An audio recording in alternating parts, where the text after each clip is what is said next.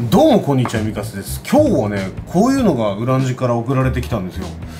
U マイクワイヤレス。まあワイヤレスマイクなんですけど前にねウランジのあの iPhone とかに使うワイヤレスマイク紹介したんですよ。あれ紙商品だったんですけどなんかねでけえんですよねこれ。はいこんにちは。あの以前紹介したやつも送信機2つのタイプでまあ携帯に使うにはコンパクトですごい良かったんですけどこれなんでこんなでけんだ？まあ、今回のは一眼用ということなんですかね。これななんだろうこの ABC めっちゃいっぱい入ってるんですけどこの金属のプレートみたいなやつ。これ何？ただのスペーサーみたいなんです。けどちょっと後でやります。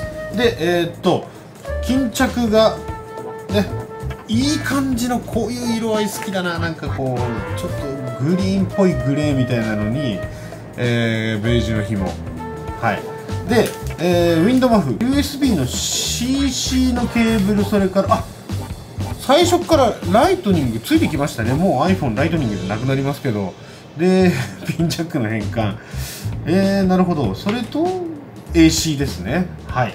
まあ付属品はそんな感じで本体なんですけど本体でかはいえー、っと結構な大きさのあるケースになってますえー、ここに LED がついてて、まあ、バッテリー残量ですね。はい、バッテリー内蔵の充電ケース。で、ズバンと。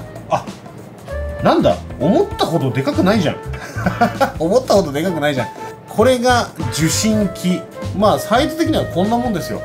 まあ、一眼のね、カメラ集のところにこう、付けられるデザインになってるわけですね。あ、なんかロック押しちゃった。はい。ここ、ちなみにここのボタンでロックで操作不能になるみたいな。で、こっちにモニタリング用の端子と、カメラにつなぐ端子裏は充電端子でこれね軽い全然軽い送信機まあちょっと大きいかな。前に紹介したやつに比べるとちょっと大きいんですけどその代わり LED がまずついているっていうのとリンク表示それからバッテリーの充電表示。まあ質感はねあんまり高くないです。この辺はもう樹脂で塗ってある感じですね。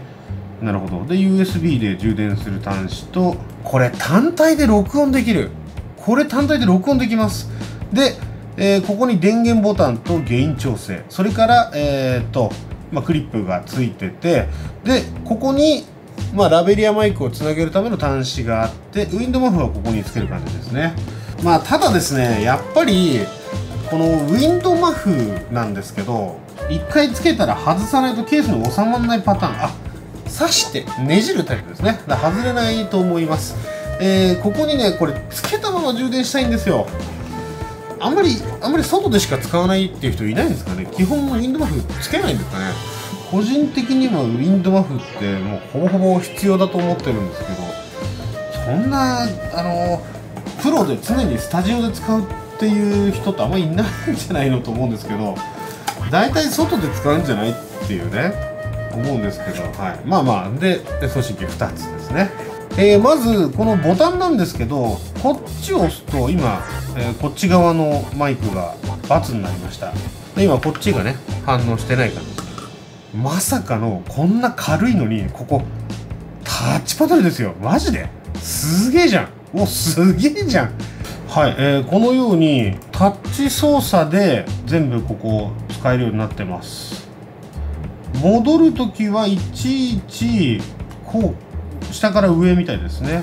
はあ。でえっ、ー、と今デュアルモノというかモノラルモノラルになってるわけなんですけどこれステレオにすることもできます。思ったより高機能でちょっとびっくりしましたね、えー、セーフティー機能も備わっててステレオで使うこともできると。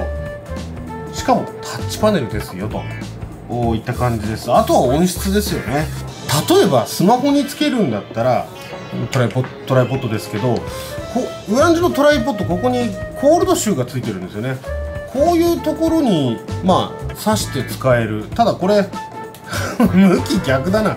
向き逆になっちゃいますね。この重さならスマホで使ってももしくはねこういう DJI のアクションカムだったりに使ってもいいんじゃないかなと。思います。では、えー、実際どんな音で撮れるのかやってみましょう。さあでは iPhone につけて試してみようと思います。さあでは公園にやってまいりました。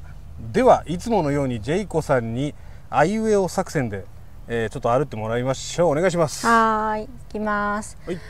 あいうえおかきくけこさしさあまあ毎度言うんですけどこういうマイクの便利なところっていうのはこうやって離れていても2人分の声が入るつまり別々のことをしていたりとか何か演者が2人いた時にえ両方の声を同時にねダブルモノラル録音みたいな感じに使えるのが、まあ、便利なところなんじゃないかなといった感じです。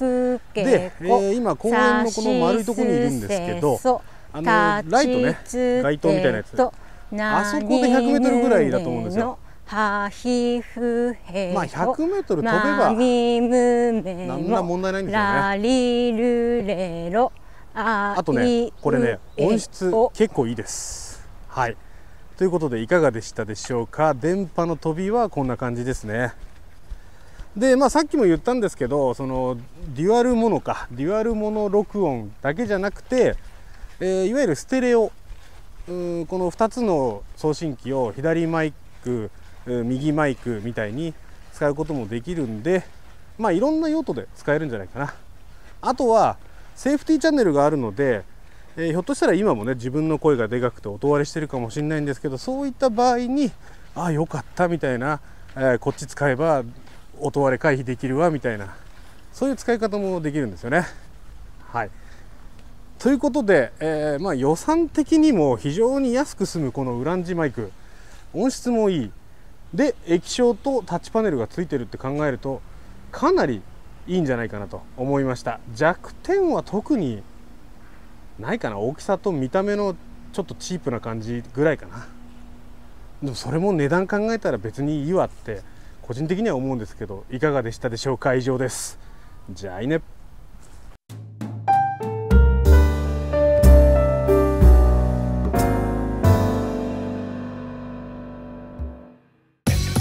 さあいかがだったでしょうか？もしよかったらねこちらも登録お願いします。